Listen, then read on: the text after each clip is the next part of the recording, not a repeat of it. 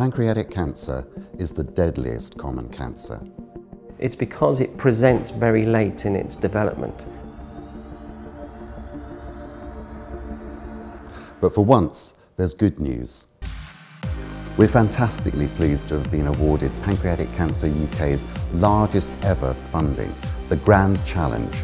The award from Pancreatic Cancer UK is funding researchers both here at Barts Cancer Institute but also at King's College to develop a new form of therapy called immunotherapy. Immunotherapy uh, is harnessing the body's own immune system to uh, seek out and destroy cancer cells. What we hope is that because the survival rates for pancreatic cancer is so low, the impact of our work, we hope, is going to significantly extend the lives of pancreatic cancer patients.